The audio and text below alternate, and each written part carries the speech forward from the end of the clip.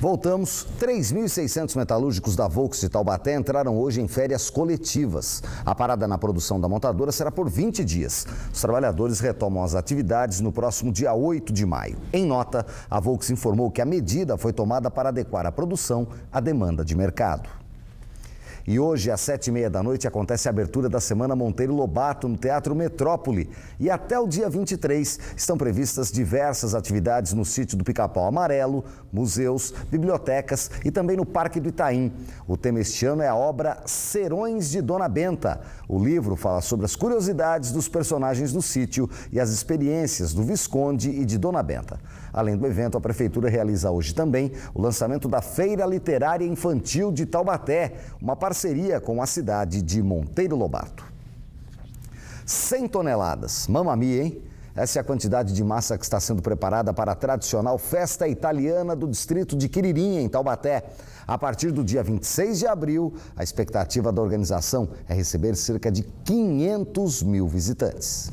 São três camadas de massa, molho à bolonhesa e queijo, muito queijo. Pronto assim em minutos. Daqui vai para o freezer aguardar o grande dia. Tá achando fácil a montagem? É porque você só viu a preparação de uma. Imagina então de 5 mil. Pois é esta a quantidade que sai daqui esse ano para a festa italiana de Quiririm, que começa no próximo dia 26. Mas a produção do prato começou há mais de duas semanas. A Maria Cristina está nessa correria há 15 anos, trabalhando das 9 horas da manhã até as 8 horas da noite. Correria, correria mais gostosa, né? Não cansa não?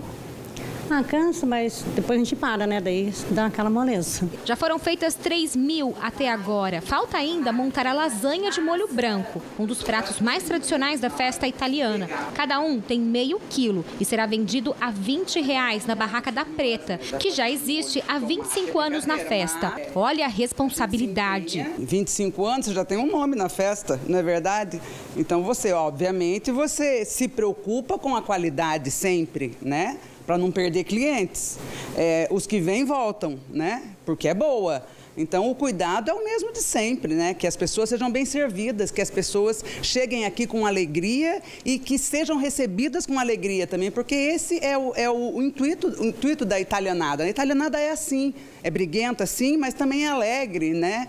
E eu acho que esse é o diferencial da festa de Quiririm para as outras. Depois da preparação das comidas típicas, a correria é para montar as barracas. Serão 27, elas começam a ser montadas já na próxima segunda-feira, aqui mesmo nas ruas de Quiririm. Além das 100 toneladas de massas que serão oferecidas aos visitantes, a festa tradicional aqui da colônia italiana também vai oferecer muita cultura para a população. Música, grupos folclóricos serão algumas das atrações da festa, que nesse ano não vai ter concurso de rainha e princesas, mas serão homenageadas as últimas eleitas. Em 2015, a Isabela foi a rainha e vai ser destaque de novo. É muito importante para mim representar a minha cultura e representar não somente a cultura, mas também Quiririm e a minha família.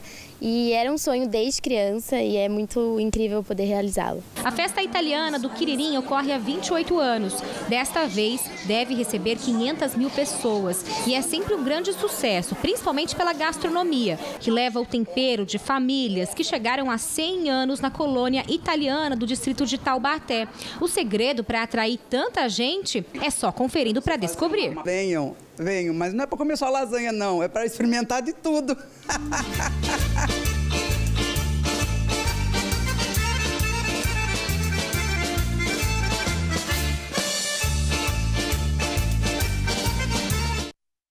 E eu posso dizer que é bom demais, hein? O Band Cidade termina aqui, vem aí Tony Blade. O Vale Urgente vai trazer informações sobre a morte de um homem de 27 anos em São José dos Campos. A vítima foi assassinada a pauladas e o corpo localizado no bairro Pau de Saia, na região norte da cidade. Siga com a gente, ótima tarde, até amanhã.